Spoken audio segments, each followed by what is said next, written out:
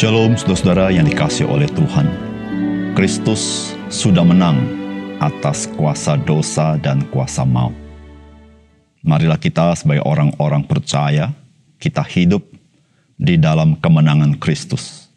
Sehingga kita boleh menyatakan kuasa dan kasih Kristus dalam hidup kita. Salam jumpa dalam program Tuhan adalah Gembalaku. Saudara hanya keledai yang jatuh ke dalam lubang yang sama dua kali. Ini peribahasa mendorong agar kita sebagai manusia tidak melakukan hal yang sama. Namun kenyataannya kita sebagai manusia bukan saja jatuh pada lubang yang sama dua kali, bahkan bisa lebih dari dua kali. Jikalau kita berjumpa dengan orang yang demikian dan kita bertanya kepadanya, apakah memang ia tidak tahu bahwa itu adalah kelemahan dia? Kemungkinan besar ia akan menjawab, dia tahu. Kemudian ketika kita bertanya selanjutnya, mengapa dia melakukannya? Kemungkinan besar dia berkata demikian, saya pikir kali ini saya akan lolos. Saudara, mengapa ia memaksakan diri untuk melakukan hal tersebut? Ini yang sebenarnya yang diungkap oleh Rasul Paulus dalam Roma pasal 7 ayat 21. Demikianlah aku dapati hukum ini. Jika aku menghendaki berbuat apa yang baik, yang jahat itu ada padaku. Saudara, semua manusia menghadapi musuh yang sama, yaitu dirinya sendiri. Sehingga ia kalah dalam kehidupannya. Saudara, bagaimanakah dengan kita sebagai orang percaya? Kristus sudah mengalahkan kuasa dosa dan kuasa maut. Barang siapa berada di dalam Kristus, ia adalah ciptaan yang baru. Di dalam kehidupan orang percaya, ada kuasa kebangkitan Kristus. Ketika kita hidup di dalamnya, maka kita lebih daripada orang-orang yang menang. Saudara, mari kita membaca Hakim-Hakim pasal 16 ayat 1 sampai dengan 22. Pada suatu kali ketika Simpson pergi ke Gaza, dilihatnya di sana seorang perempuan sundal lalu menghampiri dia. Ketika diberitahukan kepada orang-orang Gaza, Simpson telah datang ke sini, maka mereka mengepung tempat itu dan siap menghadang dia semalam-malaman itu di pintu gerbang kota. Tetapi semalam-malaman itu mereka tidak berbuat apa-apa karena pikirnya nanti pada waktu fajar kita akan membunuh dia. Tetapi Simpson tidur di situ sampai tengah malam. Pada waktu tengah malam bangunlah ia, dipegangnya kedua daun pintu gerbang kota itu, dan kedua tiang pintu dicabutnya lah semuanya, beserta palangnya, diletakkannya di atas kedua bahunya, lalu semuanya itu diangkatnya ke puncak gunung yang berhadapan dengan Hebron.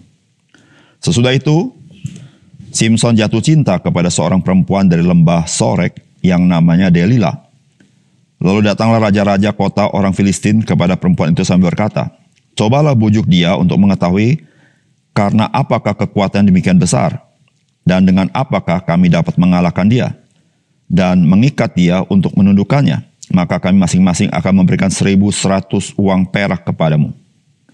Lalu berkatalah Delilah kepada Simpson, Ceritakanlah kiranya kepadaku karena apakah kekuatanmu demikian besar dan dengan apakah engkau harus diikat untuk ditundukkan? Jawab Simpson kepadanya, jika aku diikat dengan tujuh tali busur yang baru, yang belum kering, maka aku akan menjadi lemah dan menjadi seperti orang lain mana pun juga. Lalu raja-raja kota orang Filistin membawa tujuh tali busur yang baru yang belum kering kepada perempuan itu, dan ia mengikat Simpson dengan tali-tali itu. Sedang di kamarnya ada orang bersiap-siap. Kemudian berserulah perempuan itu kepadanya, Orang-orang Filistin menyergap engkau, Simpson.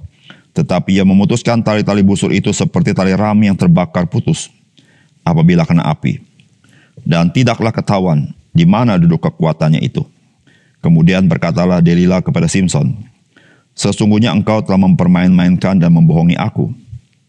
Sekarang ceritakanlah kiranya kepadaku dengan apa engkau dapat diikat. Jawabnya kepadanya, jika aku diikat erat-erat dengan tali baru yang belum terpakai untuk pekerjaan apa pun, maka aku akan menjadi lemah dan menjadi seperti orang lain mana pun juga. Kemudian Delilah mengambil tali baru, diikatnya lah dia dengan tali-tali itu dan berseru kepadanya, Orang-orang Filistin menyergap engkau Simpson. Di kamar ada orang bersiap-siap, tetapi tali-tali itu diputuskannya tanggal dari tangannya seperti benang saja. Berkatalah Delila kepada Simpson, Sampai sekarang engkau telah mempermain-mainkan dan membohongi aku. Ceritakanlah kepadaku dengan apakah engkau dapat ikat.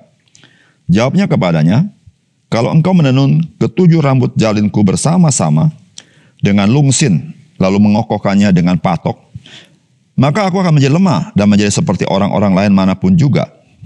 Kemudian perempuan itu mengokohkan lagi tenunan itu dengan patok, lalu berserulah ia kepadanya, orang-orang Filistin menyergap engkau, Simpson. Tetapi ketika ia terjaga dari tidurnya, disentaknya lepas patok tenunan dan lungsin itu. Berkatalah perempuan itu kepadanya, Bagaimana mungkin engkau berkata, aku cinta kepadamu, padahal hatimu tidak tertuju kepadaku? Sekarang telah tiga kali engkau mempermain-mainkan aku dan tidak mau menceritakan kepadaku karena apakah kekuatanmu demikian besar. Lalu setelah perempuan itu berhari-hari merengek-rengek kepadanya dan terus mendesak-desak dia, ia tidak dapat lagi menahan hati sehingga ia mau mati rasanya. Maka diceritakannya lah kepadanya segala isi hatinya katanya, Kepalaku tidak pernah kena pisau cukur, sebab sejak dari kandungan ibuku aku ini seorang nasir Allah. Jika kepalaku dicukur maka kekuatanku akan lenyap daripadaku. Dan aku menjadi lemah dan sama seperti orang-orang lain.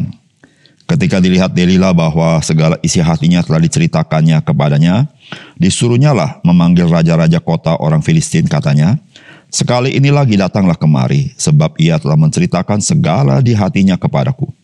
Lalu datanglah raja-raja kota orang Filistin itu kepadanya, sambil membawa uang itu. Sesudah itu, dibujuknya Simpson tidur di pangkuannya, lalu dipanggilnya seseorang dan disuruhnya mencukur ketujuh rambut jalinnya, sehingga mulailah Simpson ditundukkan oleh perempuan itu sebab kekuatannya telah lenyap daripadanya. Lalu berserulah perempuan itu, orang Filistin menyergap engkau Simpson. Maka terjagalah ia dari tidurnya serta katanya, seperti yang sudah-sudah aku akan bebas dan akan meronta lepas. Tetapi tidaklah diketahui bahwa Tuhan telah meninggalkan dia. Orang Filistin itu menangkap dia, mencungkil kedua matanya, dan membawanya ke Gaza. Di situ ia dibelenggu dengan dua rantai tembaga dan pekerjaan di penjara ialah menggiling. Tetapi rambutnya mulai tumbuh pula sesudah dicukur. Saudara yang dikasih oleh Tuhan, ketika kita membaca kisah ini, kita seakan-akan sedang mengulang membaca kisah sebelumnya, yaitu kisah Simpson dan perempuan yang berada di Timna hanya dalam peristiwa yang berbeda. Pernahkah dalam kehidupan saudara, saudara merasakan sepertinya hal seperti ini pernah terjadi dalam kehidupan saudara? Hanya dari versi yang berbeda, yaitu terkait dengan kejatuhan yang saudara alami. Saudara, apakah pesan firman Tuhan bagi kita? Yang pertama, kita akan jatuh ke dalam jerat yang sama ketika kita masih memelihara keinginan daging dan tidak mengenakan manusia rohani di dalam Kristus. Saudara firman Tuhan berkata begini, Lalu setelah perempuan itu berhari-hari merengek-rengek kepadanya dan terus mendesak-desak dia, ia tidak dapat lagi menahan hati sehingga ia mau mati rasanya. Maka diceritakannya lah kepadanya segala isi hatinya katanya, Kepalaku tidak pernah kena pisau cukur, Sebab sejak dari kandungan ibuku, aku ini seorang nasir Allah. Jika kepalaku dicukur, maka kekuatanku akan lenyap daripadaku dan aku menjadi lemah dan sama seperti orang-orang lain. Saudara yang dikasih oleh Tuhan, Simpson mempunyai sebuah kebiasaan, yaitu keinginan dagingnya, yang dia tidak dapat elakkan Bahkan kita melihat bahwa dia menganggap remeh keinginan daging itu. Dari mana kita tahu? Saudara, bukankah Delila sudah tiga kali mencobai dia? Namun Simpson tidak lari dari Delila. Hal ini berbeda sekali dengan Yusuf anak Yakub yang ketika dicobai oleh istri Potifar, satu kali saja dia langsung lari daripadanya.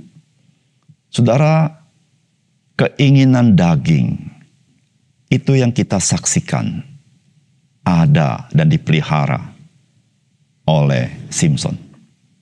Dan saudara, sebagaimana dijerat waktu lalu oleh perempuan di Timna, kali ini terjadi sekali lagi.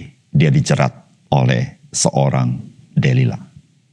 Saudara, kita memiliki keniscayaan akan jatuh pada lubang yang sama berkali-kali ketika kita memelihara keinginan daging kita. Dan saudara, apa yang kita lakukan, kita lakukan dengan sadar. Dan kita tetap melakukannya. Dan terus melakukannya. Dan akhirnya itu yang mencelakakan hidup kita. Saudara sebagai orang percaya, kita sesungguhnya adalah orang-orang yang telah diciptakan baru di dalam Kristus. Yang lama sudah berlalu. Karena ada kuasa roh kudus di dalam hidup kita. Dan saudara, kita dimampukan oleh roh kudus. Menanggalkan keinginan daging kita. Tapi kita hidup dipimpin oleh roh kudus dalam hidup kita. Saudara janganlah kita membiarkan diri kita terus diperbudak oleh keinginan daging kita. Dan kita selalu jatuh ke dalam jerat yang sama. Tanggalkanlah keinginan daging itu. Dan kenakanlah keinginan roh kudus di dalam hidup kita. Maka kita hidup di dalam kemenangan. Yang kedua, kita diperbudak oleh hawa nafsu kita sebelum hal-hal lain memperbudak kita. Kemerdekaan yang sejati adalah ketika kita hidup dipenuhi oleh Roh Kudus. Saudara firman Tuhan berkata, orang Filistin itu menangkap dia, mencungkil kedua matanya dan membawanya ke Gaza. Di situ ia dibelenggu dengan dua rantai tembaga dan pekerjaannya di penjara ialah menggiling. Saudara Simpson adalah orang yang merdeka. Meskipun bangsa Israel berada di dalam kekuasaan orang Filistin. Dia bebas melakukan apa saja dalam kehidupannya. Namun dalam kebebasannya, dia merelakan diri diperbudak oleh hawa nafsunya. Dan hawa nafsunya itulah yang memimpin kehidupannya sedemikian rupa. Dan saudara, ketika dia diperbudak oleh hawa nafsunya, maka dia masuk ke dalam jerat berikutnya. Dia mulai diperbudak oleh orang-orang Filistin. Saudara diperbudak oleh hawa nafsu, membuat kita menjadi kalah di dalam kehidupan ini. Dan hal-hal yang di luar sanggup memperbudak kita dan menuntun kita ke mana kita tidak mau pergi ke sana. Saudara, inilah yang terjadi pada Simpson. Saudara Simpson tidak pernah mau diikat, dibawa ke Gaza, lalu mata matanya dicungkil dan pekerjaannya menggiling, diperbudak oleh orang Filistin. Saya percaya dia tidak mau. Tetapi saudara, karena dia mau diperbudak oleh hawa nafsunya, dia mau tidak mau masuk ke dalam perbudakan orang-orang Filistin. Saudara, ini sebuah pelajaran bagi kita. Saudara kita pertama-tama diperbudak oleh hawa nafsu kita. Jikalau kita membiarkannya, maka kita menjadi terbuka untuk diperbudak oleh hal-hal lain di luar kita. Hal-hal lain menjadi sanggup masuk dalam hidup kita melalui perbudakan hawa nafsu kita. Saudara, bagaimana kita tidak diperbudak oleh hal-hal lain? Saudara, kita tidak boleh diperbudak oleh hawa nafsu kita. Tetapi kita harus hidup dipenuhi oleh roh kudus. Roh kudus memimpin hidup kita. Dan saudara, hal-hal lain tidak sanggup masuk ke dalam hidup kita untuk memperbudak kita. Dan kita tetap menjadi orang-orang yang merdeka. Saudara, berapa banyak orang di dunia ini tanpa sadar dia membiarkan dirinya diperbudak oleh hawa nafsunya, dan pada akhirnya dia menyesal karena ada hal-hal lain akhirnya mengikat dia dan dia tidak bisa lepas daripadanya. Oleh karena itu saudara, mari kita sebagai orang percaya, kita harus menjadi orang yang cerdik seperti ular, tetapi tulus seperti merpati. Kita hidup di dalam Roh Kudus, karena itulah kemerdekaan kita yang sejati di dalam hidup kita. Mari kita berdoa. Bapak surga terima kasih untuk kebenaran firman Tuhan. Biarlah kami ketika membaca firman-Mu dan kami diterangi hati dan pikiran kami, maka kami melakukan apa yang dipimpin oleh Roh Kudus supaya kami menjadi orang-orang yang menang. Terima kasih Tuhan dalam nama Tuhan Yesus kami berdoa. Amin.